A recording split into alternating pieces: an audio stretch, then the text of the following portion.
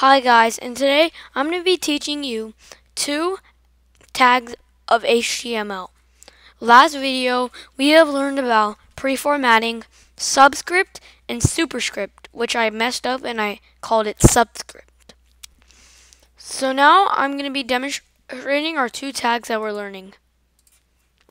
So, I'm going to paragraph it first, and what we're learning first is delete which basically deletes it. So I'm just going to do my favorite color is is I'll get mouth D-E-L I'll get a mouth and then we'll do green. That's D-E-L and then we'll put red. After it I'll get a mouth and then P and we go to File, and then we go to Save, and then when we reload it, it'll say my favorite color is green, but green is crossed out, and then and then it will be red. That is actually it. Our next one is strong, and it's like a bo bolded.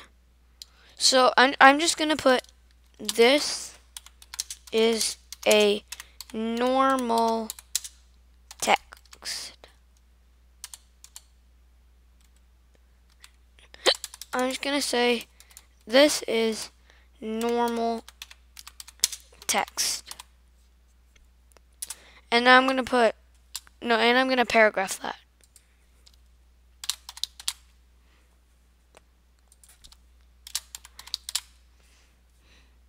And then, going to enter, put a break,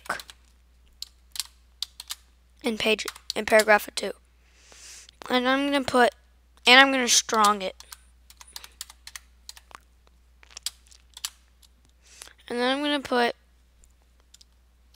this is a strong text. I'm going to put B BR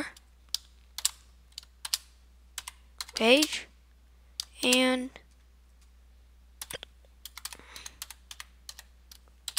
and then when I go to File, Save, and then I reload it, it'll be, so this is normal text, and this is strong text, and it's bolded. And I, I also did a break, and so it did that. That, that, remember, if you've watched my other video about break, this isn't how much the space is, it's just giving page for the other thing of the paragraph. So I hope you like these two tags of HTML. They're actually very interesting to learn, I have to say. I have to admit. And I hope you liked it, and stay tuned to more videos.